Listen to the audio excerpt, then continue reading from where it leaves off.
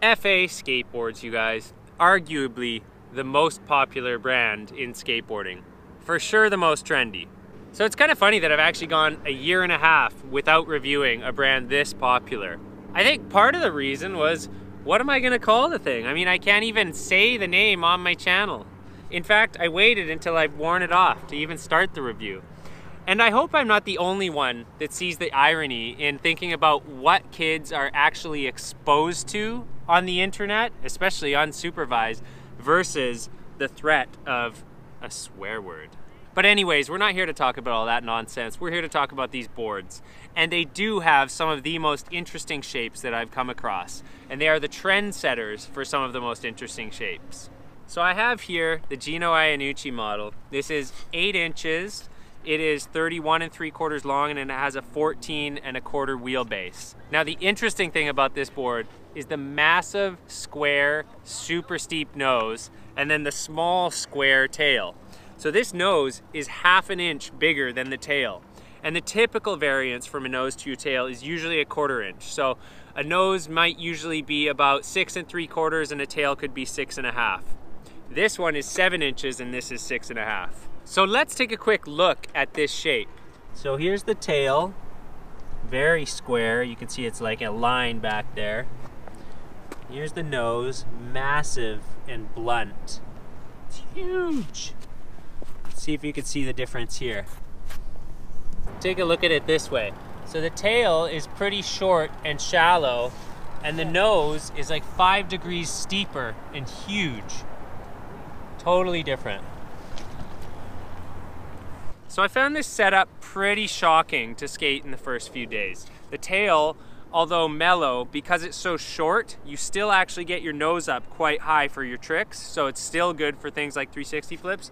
And the nose is so massive, and then I had these big 52 millimeter lock-ins and thunders, so it was like way too poppy and I was used to flat decks and indies. So here's some footage of me skating in underground trying to get used to this thing. And you'll notice I don't quite have control over it, but occasionally do my tricks well.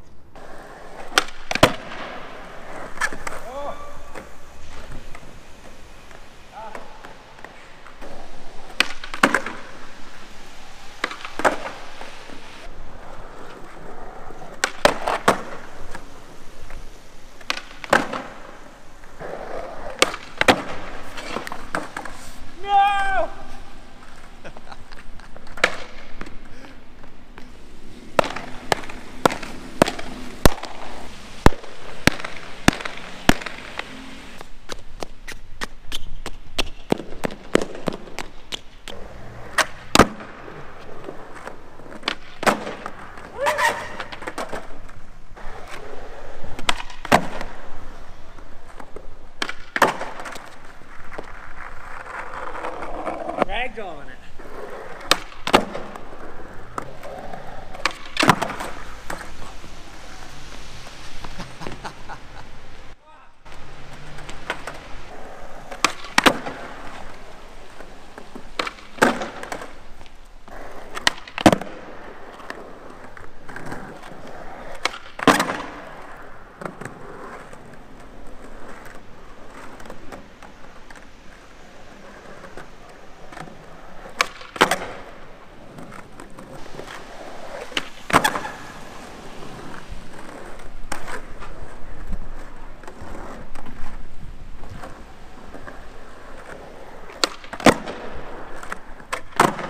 Lofty. Lofty.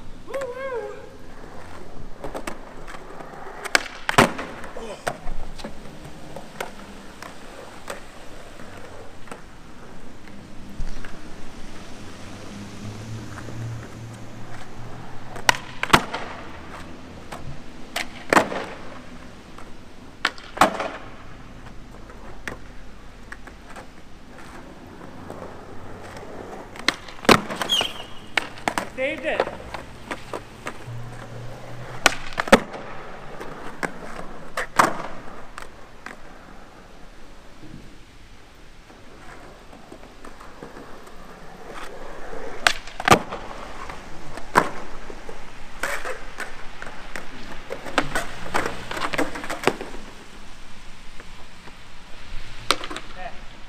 Make this one work out again.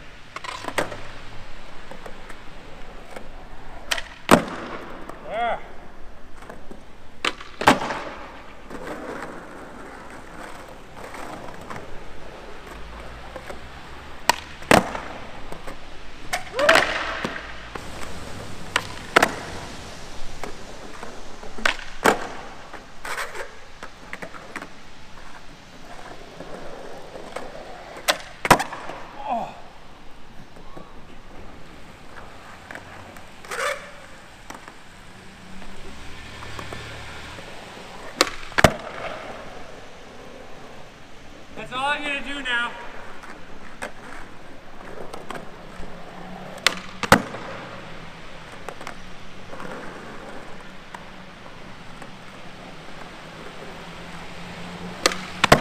Because it's my favorite on there. Yeah.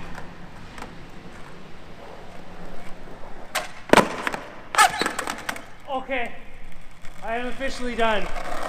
My favorite trick on this deck by far has been switch heel flips. That massive nose is just like a launch ramp under my feet. So I did find the lock-ins a bit cumbersome at first and I ended up switching them to the radials that I was riding that were about 50 millimeters instead of 52 and narrower. So that really lightened and kind of freshened this setup up for me.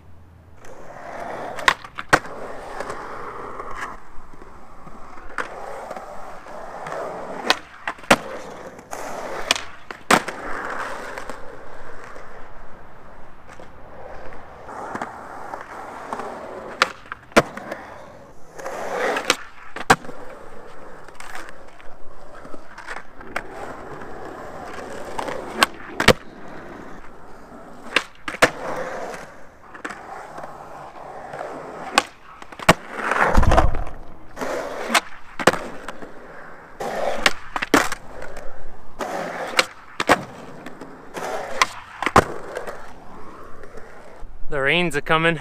That ends another all Canadian fatty to flatty session. So I've been riding this deck for about three weeks, and I would say after the first week, the tail started to go a tiny bit soft. So one other thing that's kind of unique about it, while the kicks felt super steep, the concave is actually not flat, but a medium concave. So you got the steep nose, medium concave that actually feels flat by comparison. Another bizarre thing about this board that I should note is it felt super heavy. And when I weighed it, it was. So a typical 8 inch board weighs about 1200 to 1250 grams. This deck weighed 1350 before grip. It also felt super thick. And I wasn't sure if that was just the full dip, the fact that the whole board was dipped in paint, well, sprayed, they call it a full dip, or if it was actually thick. And sorry guys, I'm not about to buy a pair of calipers to actually measure, but it did feel noticeably thicker than other brands that I've been riding and the heft of that deck did not go unnoticed. Thankfully, I'm riding Thunder 147 titaniums, super light, which have made this totally manageable. So there's more to this deck though. It's not just, I mean, I think this is a really cool board, and I don't just mean cool like the kids like it. I mean, like, let's take a look at this thing, the paint. So it's got the full dip, and then underneath, they've still got the colored plies. So they've got the yellow ply on the bottom, which I always like. They've got this cool orange color on the top. They've even got a pink ply in the middle. And then the paint itself almost looks like there's two layers of paint. So we've got what looks like white paint with the sort of creamy yellow paint over top. And even the way the paint flakes off the board looks super cool. It doesn't just slide off, it sort of chips and peels off and has this super cool effect. Another thing I find really interesting about that effect is as a carpenter, I'm always doing renovations in old houses. And so sometimes when you're sanding some of the old woodwork, old painted woodwork, it's got like multiple years of paint on it. So you'll sand through and you've got the avocado layer from the 60s, you've got the peach layers from the 80s, you've got pinks, you've got all kinds of colors. And so this totally reminds me of the woodwork on Renos when I start sanding it. And I like that. It's interesting to me. It's different than what most boards look like. However, all that paint, again, could be what makes this deck feel so heavy. So while it did get a little bit more flexible on the tail in that first week, it's maintained its feel over the last two weeks. Still feeling really nice. And now that I'm super used to these big kicks, I've put these Spitfire lock-ins back on and I'm loving it again. Also, once I get onto some smooth ground, I can actually get my 360 flips nicely on this board.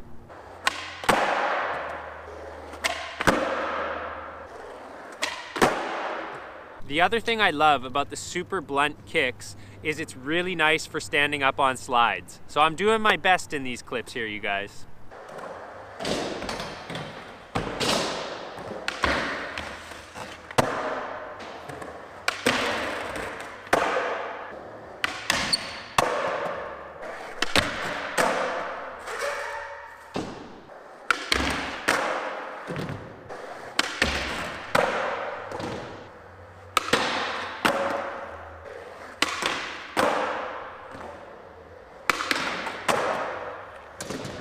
So yes, even at eight inches, there's still lots of room for my foot. So I've ridden decks that are eight and a quarter with a pointy kick that have a lot less room on the kick than these. I also want to note, let's take a look at the engineering of a deck because there is actually some engineering that goes into decks. So I don't think they just went, I want huge noses and short tails and make them really square and hope it works out. There's actually some planning that goes into this. So the fact that the nose is so steep means that it goes up more like this when you kick down. And because of that, the bluntness doesn't get in the way for your 360 flips and scoopy tricks as much as it normally would. And the exact same thing goes for the tail. If the tail was longer at the angle it is, the shallower angle, your nose and tail wouldn't get up as high. But because they've shortened the tail so much, you still get that up higher and it still makes for a really nice scoopy trick. So it's a super interesting design. I'm not surprised they're so popular and I have enjoyed riding this board. I will say though that I am looking forward to getting onto another deck that's a little closer to the proportions that I'm used to. I would like this tail to be an eighth longer and this nose to be an eighth shorter and I would like the kicks leveled back out to the same consistency because I like things the way I've always ridden them. Would you look at that? The sun is showing up in this very gray city for the last minute of this video. Anyways, I would definitely ride another FA deck. I think they are awesome but I don't think I would want to ride these exclusively because there are some things I found it just kind of limiting or a bit weird for. Anyways, that's the FA skateboard review that everybody's been waiting for. I hope it wasn't totally anticlimactic for you. Basically, from the moment people saw that I had one of these, they're like, when's the review? When's the review? When's it? It's like, you guys, if you see the board, you know it's gonna be another month before you're gonna see the review, okay? Just take it easy here it is. It's over. It's over now. Now you can do something else. Like click away from this video. And I need to skate because it's sunny.